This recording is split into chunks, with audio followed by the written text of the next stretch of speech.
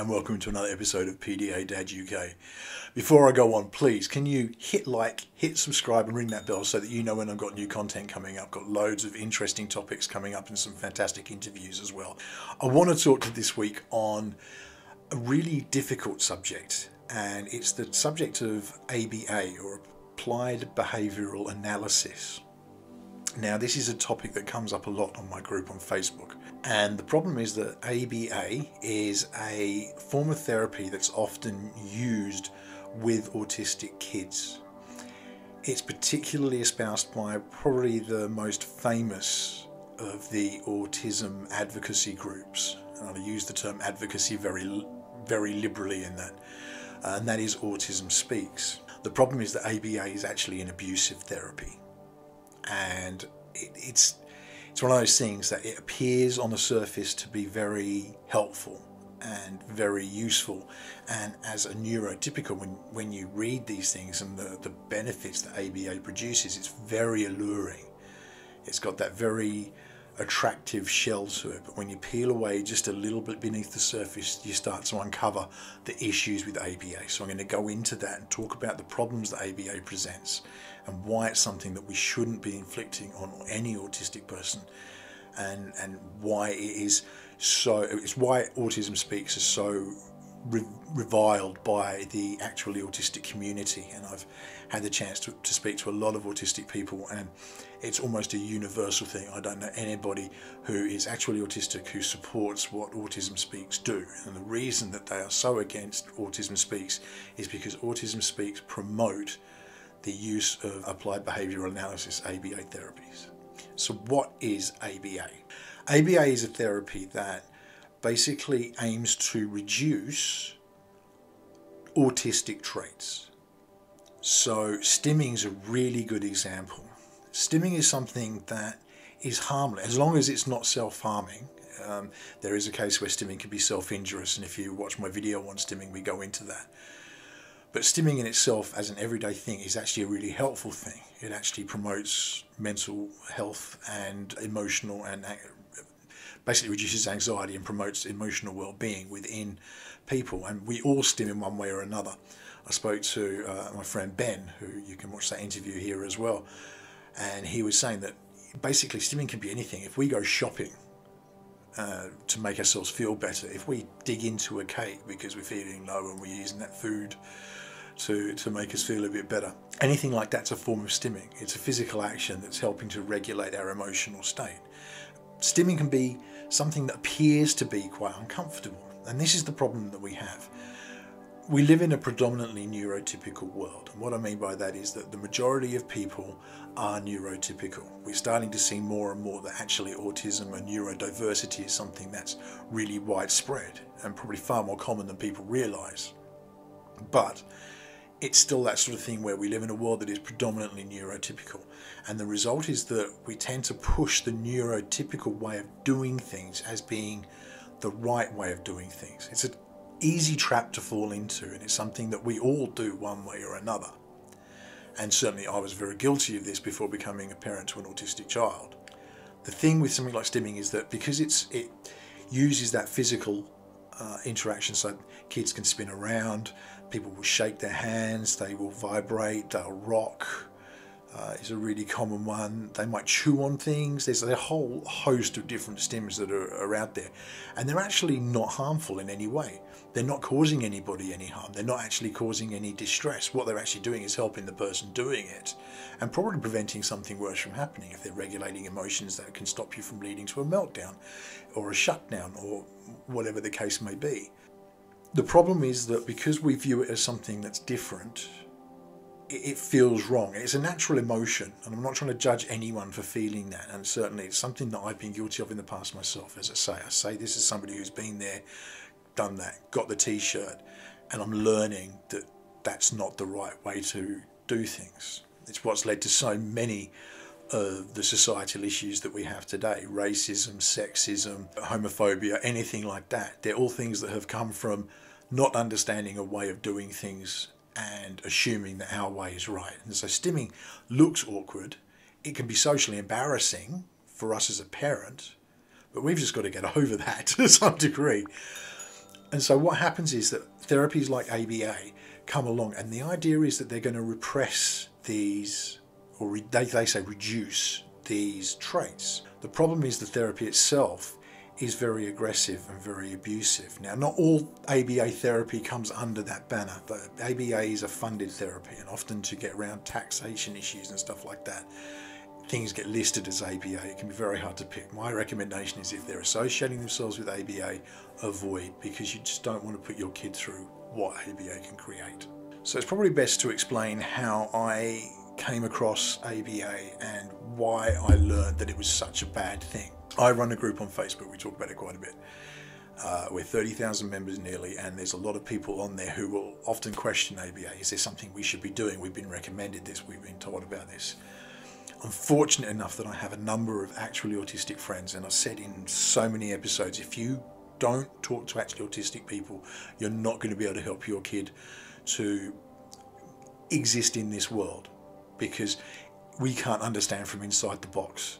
We need to be able to, you know, if I want to understand the mechanics of a car, I talk to a mechanic because a mechanic's going to know better than me what it is. I'm not just going to stumble in and, and try. I'm not going to ask my mate who's a computer programmer how to fix my car. He's not going to know that. You know, you go to the people who actually know. And if you're autistic, you actually understand and you know you're living inside that box. It's such a valuable resource and I can't recommend it enough. Get talking to actually autistic people. There's hashtags on Twitter for actually autistic, um, asking autistics. There's a whole load of different options that you can go for to, to find this information out. Hit Facebook, actually address autistic people. You'd be surprised how many people there are out there who are actually autistic, and you probably wouldn't know. It's just something that goes on behind the scenes in their minds, and you know they, they live perfectly average lives like the rest of us. So I was able to engage with some actually autistic people. And what I discovered was that ABA therapy was something that's really, really highly disregarded among the autistic community. And the problem is that it does repress these traits. So we talked about things like stimming is just a really great example because it's something that's not harmful to anyone as long as it's not self-injurious. It's just something that's done that helps regulate emotion, but it's awkward for us. And so the temptation is to repress it. And this is what ABA will do. The first way they do this is with a, a method called compliance training. And this is where it is actually, and it often involves a physical intervention. If someone's stimming, they'll hold, them, no, you've got to stop this. And it's like a repetitive training, almost like you train a dog. No, bad, you know, and, and they push through this stuff so that the stimming stops. The, the child in question learns it's bad, it's not the right thing to do, and they start repressing it. The problem with repressing things like that is it's going to lead to major problems down the track. The reason for this is because it's not being replaced with anything healthy.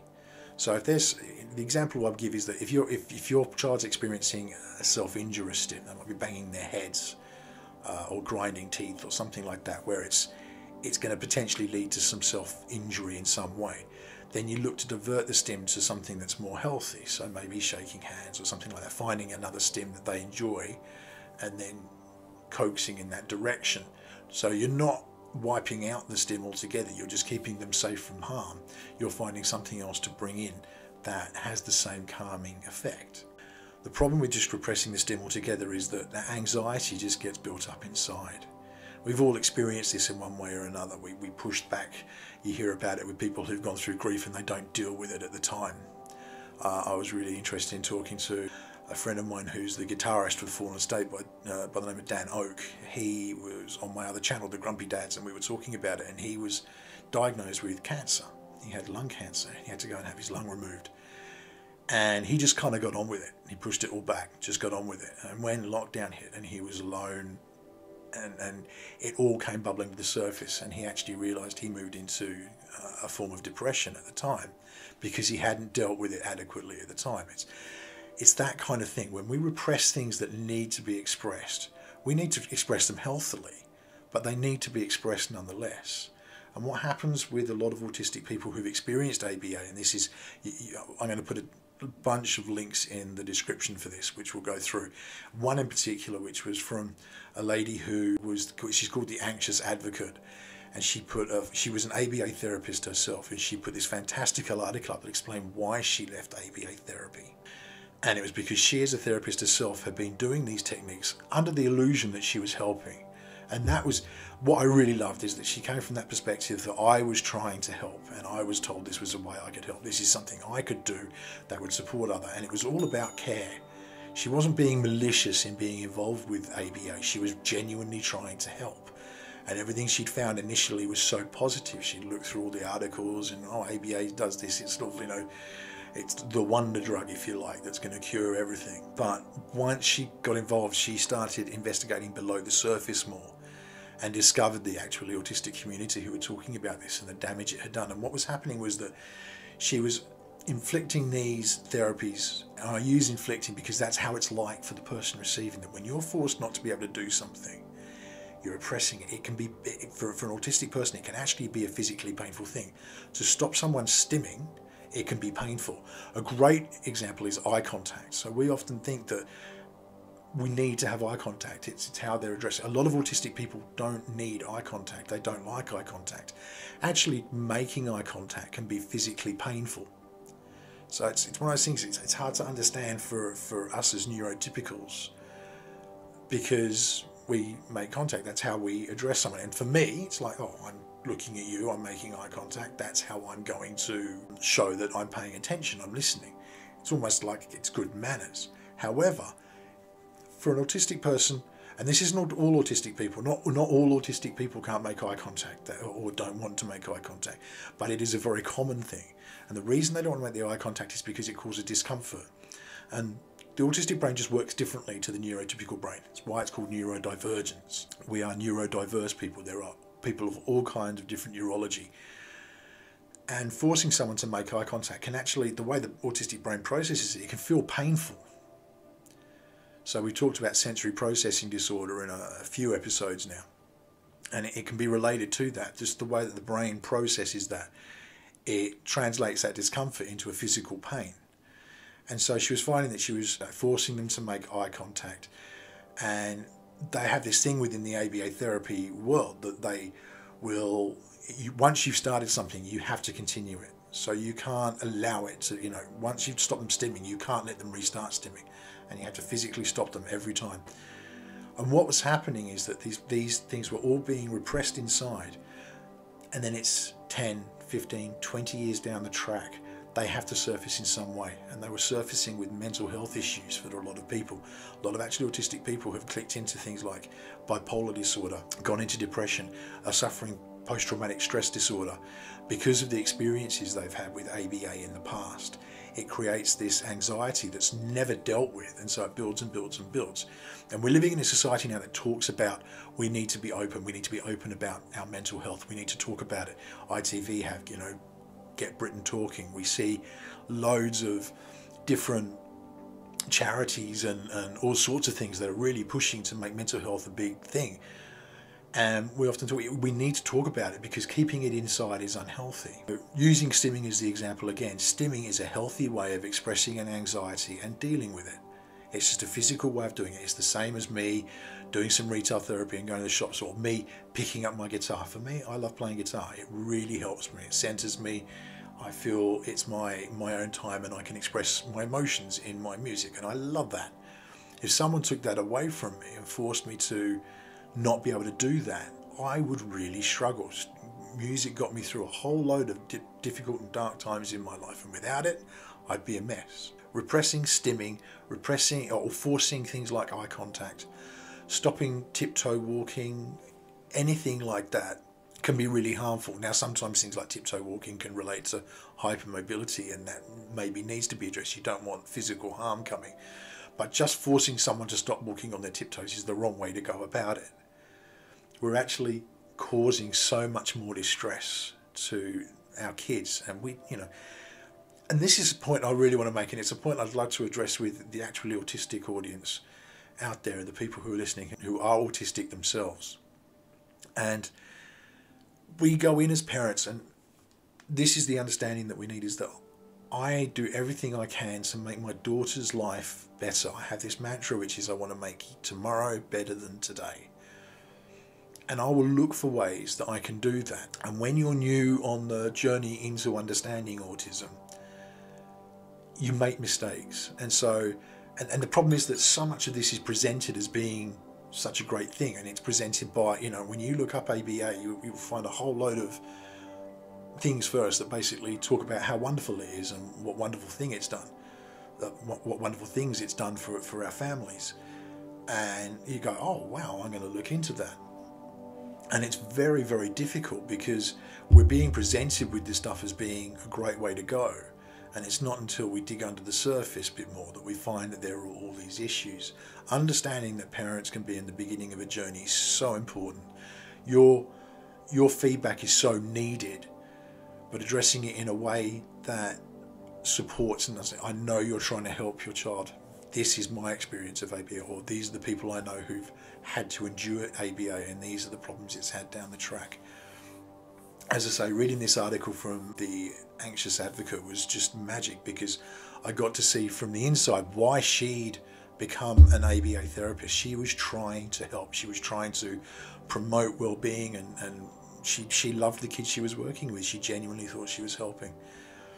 As she dug below the surface, she found that she wasn't helping and she was actually causing more problems. And to her credit, she left it all behind and she moved on and she's done things like this article and she's actually getting the message out there to the wider community that autism is uh, not something that needs to be repressed. We need to work with our autistic kids to help them to be accepted for who they are, not force them into a mold that doesn't fit. So, for parents watching and trying to understand ABA and, and help your kids, I can't say enough to just avoid ABA therapies. Our goal should not be to force our kids to conform to what we what the world considers the neurotypical world considers to be the right way to do things. What we should be doing is looking to help the neurotypical world understand that there's no right or wrong way to do certain things. And just because it's something that we may not find comfortable something that we may not understand doesn't make it wrong doesn't make it the wrong thing my rule of thumb is if it's causing harm to somebody else or to themselves, that's where I will step in. So if my daughter's in a violent meltdown and she's attacking people, I will step in to stop her because I can't have other people being hurt and she's going to wind up hurting herself. However, if my daughter, my daughter's stimmy, she plays with her hair, she twirls it. It's harmless and it's actually, you know, in the world of stims, really minor. You probably wouldn't even notice it one other stim that she has, which is more noticeable, is she sings. She will sing loudly, and, and it's just her way of relaxing herself. And you know when she's anxious because she starts singing louder and louder and louder. She's fi- finally learning to sing in tune, which is wonderful because before that was a particularly difficult thing for me, especially as a musician. I found that really challenging, but uh, her stimming is, is, you know, this hair twirling, and she will um, sing.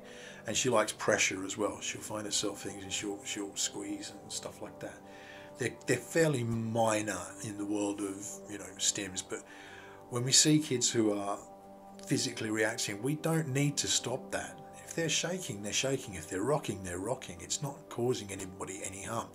And that's my rule of thumb. If it's not harming somebody else i'm not going to step in and i'm not going to change it because it's just helping other people need to learn to be understanding and accepting.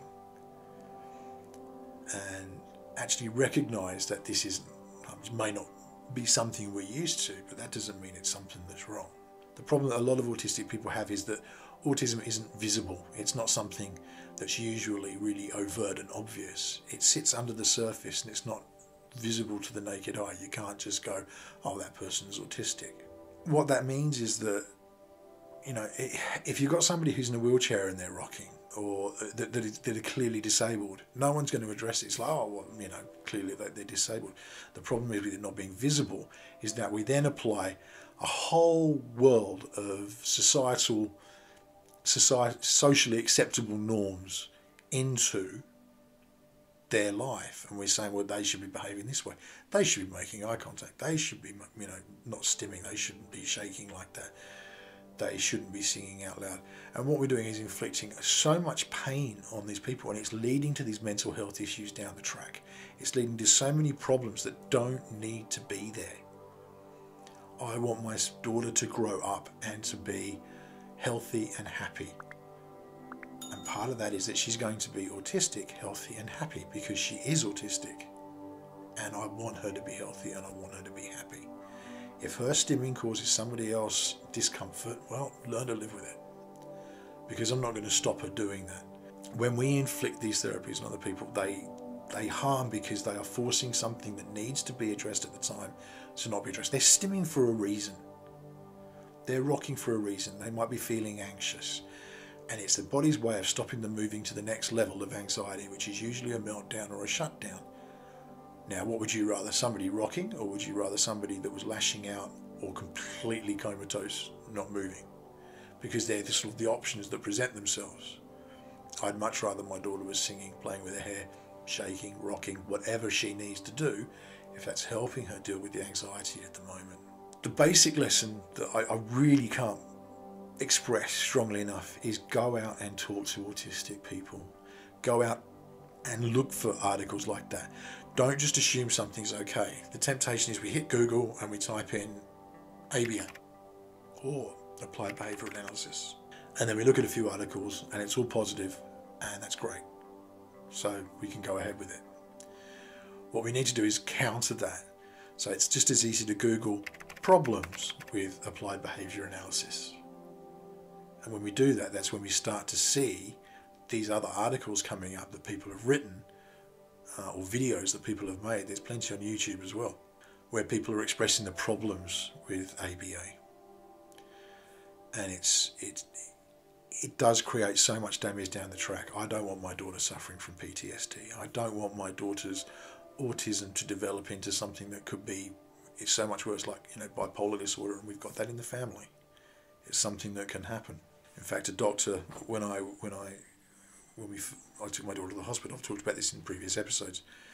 Once he identified that she was autistic, which he did very quickly, he said that we need, you know, you need to get this addressed. Make sure you are following up and getting a diagnosis because so often autism, particularly in girls, will develop to further conditions. You never stop being autistic, but then you develop other conditions like bipolar disorder down the track because it hasn't been addressed, and it's often because girls mask, and masking is a form of, of self inflicted ABA therapy in some ways.